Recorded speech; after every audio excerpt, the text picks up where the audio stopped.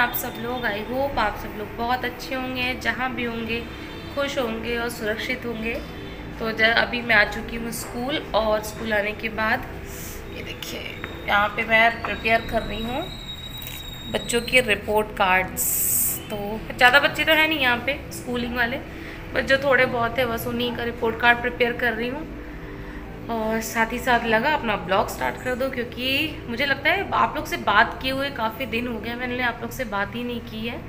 क्योंकि इस समय थोड़ा बिज़ी बिज़ी शेड्यूल था, थोड़ा सा टेंस थी मैं किसी चीज़ को लेकर के। पर ठीक है ज़िंदगी है, ज़िंदगी में बहुत सारे उतार और चढ़ाव आते रहते हैं।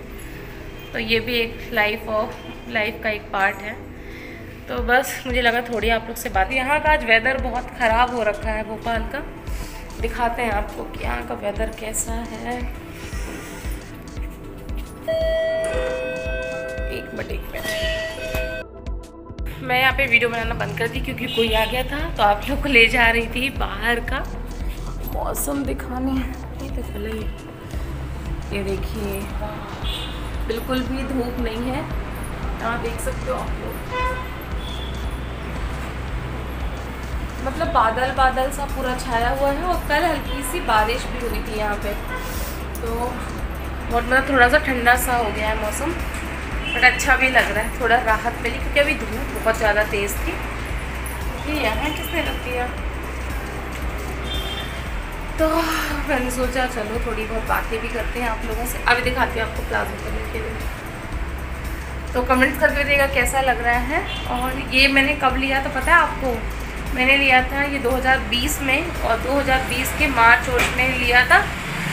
था और और वुमेंस डे तो ये था पिकनिक की वुमेंस डे से रिलेटेड तो मैंने ये सूट लिया था कि मैं उसमें पहनूँगी बट मैंने फिर नहीं पहना था क्योंकि बहुत ढीला ढीला था।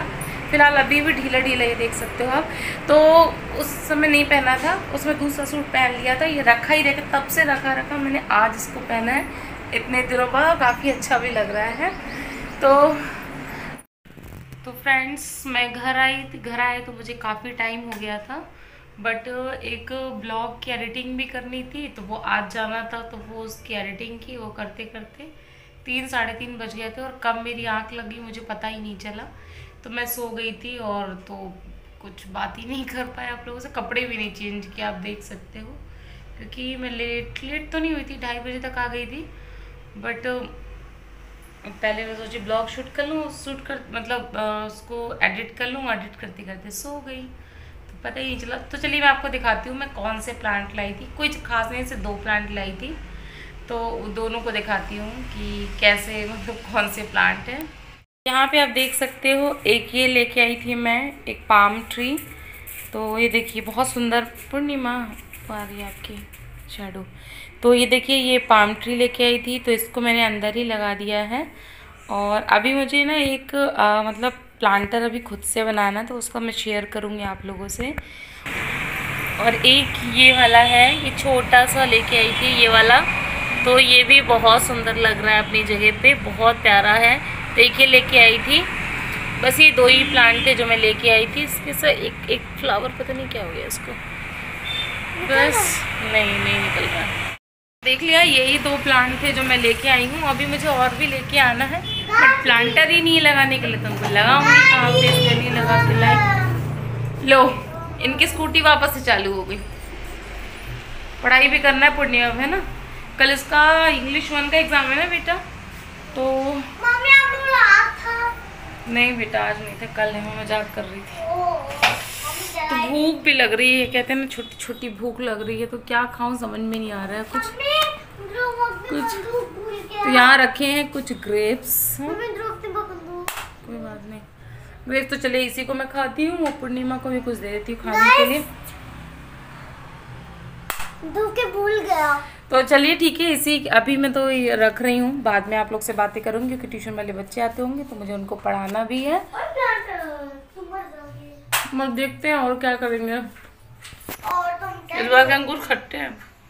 बाद में बात करेंगे आपसे तो फ्रेंड्स ये शाम का टाइम था और यहाँ पे मैं बना रही थी आ, मतलब कुछ खाने के लिए वाली कुछ स्पेशल मतलब अलग सा ट्राई करती हूँ।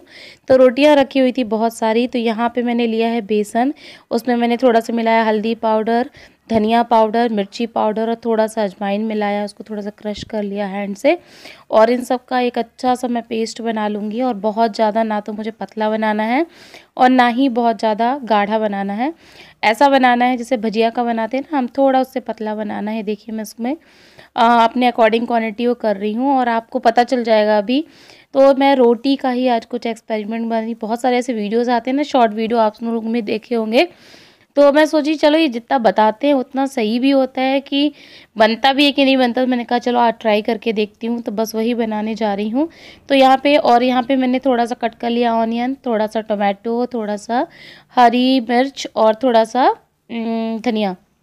तो यहाँ पे देखिए, सबसे पहले मुझे तवा मैंने पहले ही रख दिया था तो अच्छा गर्म हो गया था, उसके बाद मैंने थोड़ा सा ऑयल रखा, लगाया है। तो आप चाहो तो बटर यूज़ कर सकते हो। बटर नहीं था मेरे पास, घी तो है बट बटर नहीं है।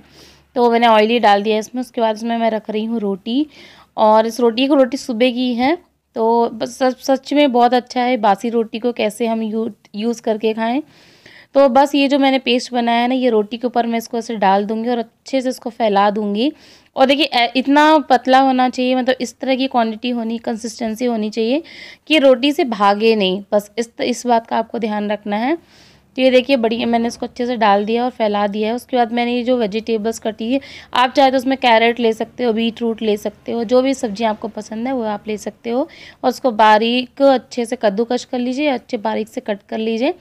तो मैंने बस यहाँ पे जो सब्ज़ी मेरे घर पे थी, वही सब्ज़ियाँ मैंने इसमें ऐड कर दी हैं। और बस इसको एक एक तरह से आप कह सकते हो ना, रोटी पिज़्ज़ा का नाम दे सकते हो।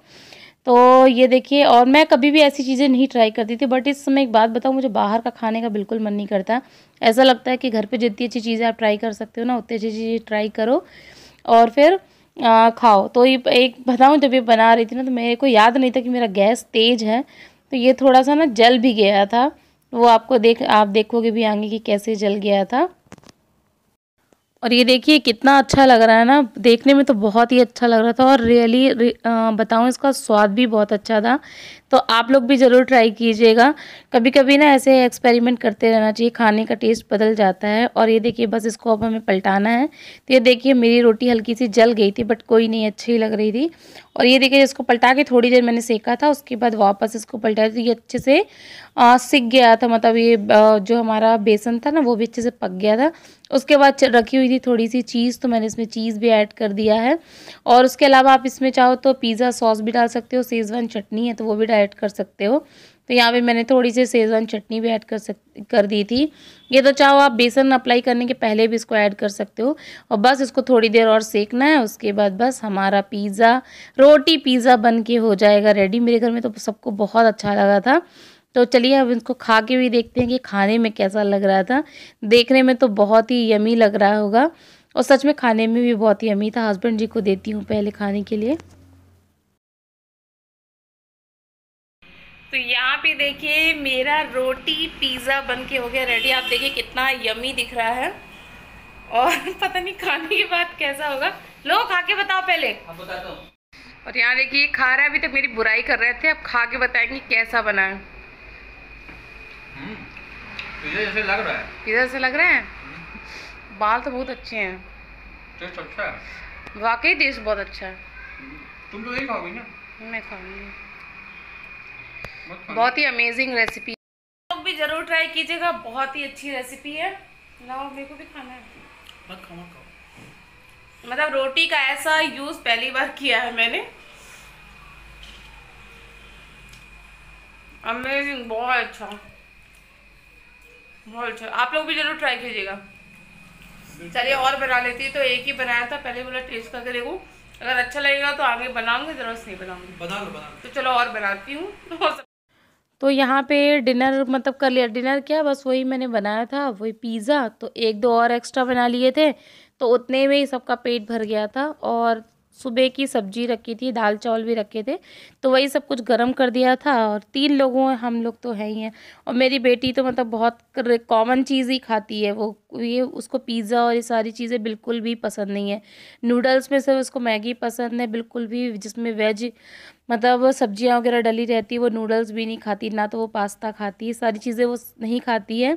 एक तरह से बहुत अच्छा भी है। और सैंडविच वगैरह भी वो खाती है ना तो बिल्कुल नॉर्मल पोटैटो वाला ही खाती है, बाकी नहीं खाती है। और उसका सबसे फेवरेट खाना आपको बताऊँ तो दाल चावल, उसको दाल चावल बहुत पसंद है, उसमें थोड़ा सा घी या अचार मिक्स कर दो तो बस यही उसका खाना है। तो फटाफट यहाँ पे जो बर्तन है, वो मैं धो लेती हूँ, क्योंकि सुबह के भी बर्तन थे तो उन सबको धो करके अब रख देती हूँ, यही मेरा अभी का काम है, और बस।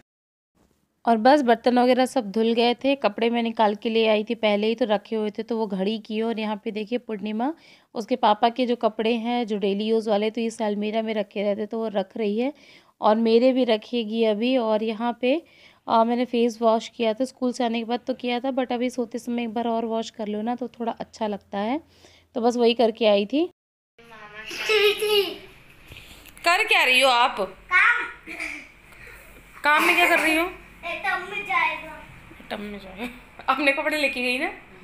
जल्दी आओ वापस। और? मम्मा के कपड़े भी एक गली वाले थे आपको खोल नहीं नहीं नहीं ऊपर रखना टेबल के ऊपर। मम्मा के कपड़े।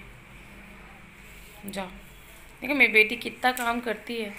आप लोग की बेटी अरे वाह मेरा कौन से पेपर साइन कराए जा रहे हैं प्रॉपर्टी अपने नाम कर रहा पूरी यहाँ पे पेपर साइन करवाए जा रहे हैं। कौन सा वाला प्रॉपर्टी अपने मेरे नाम तो कोई प्रॉपर्टी ही नहीं तो क्या करो लैपटॉप है बेटा पूर्णिमा रद्द करो। तो थोड़े थोड़े थोड़े थोड़े थोड़े। फ्रेंड्स गुड मॉर्निंग तो आज ये अगले दिन नेक्स्ट मॉर्निंग का वीडियो है। अब कल मैंने आपको दिखाया था यहाँ का वेदर कैसा है और आज देखिए आज तो बढ़िया धूप है बहुत तेज़ धूप है इवन आँख नहीं खुल रही ऐसी धूप है। तो मैं फिर उसके बाद कोई वीडियो नहीं शूट किया था और वीडियो का एंड भी नहीं किया था। तो मुझे लगा चलो आप लोग से थोड़ा बातें करके वीडियो का एंड भी कर देती हूँ। तो आज है दिन बुधवार वीडियो आपको कल मिलेगा। तो अ, बस मैंने सोचा थोड़ी देर बात करूँ और फिर वीडियो का एंड कर देती हूँ। तो आज यहाँ पे मैंने वेयर की है ग्रीन साड़ी क्योंकि कहते हैं बुधवार के दिन हरी साड़ी पहननी चाहिए सोमवार के दिन वाइट मंगलवार के दिन ऑरेंज गुरुवार के दिन सबको पता है पीला। और शुक्रवार के दिन लाल और शनिवार के दिन काली साड़ी पहननी चाहिए। मतलब काली ड्रेस पहननी चाहिए। इस तरह से कुछ डेज़ डेज़ डिवाइड रहते हैं, उसके हिसाब से साड़ियाँ पहननी चाहिए। तो अब मेरे पास थी ये ग्रीन साड़ी तो मैंने इसको आज पहन लिया। तो चलिए, इसी के साथ मैं करूँगी अपने वीडियो का एंड अगर आपको मेरा वीडियो अच्छा लगता है तो प्लीज़ वीडियो को लाइक कीजिएगा चैनल को सब्सक्राइब कीजिएगा, अपने फ्रेंड्स और फैमिलीज़ के साथ भी शेयर कीजिएगा। मिलेंगे अच्छे से ब्लॉग के साथ। तब तक के लिए बाय अपना ध्यान रखिए, खुश रहिए, मस्त रहिए।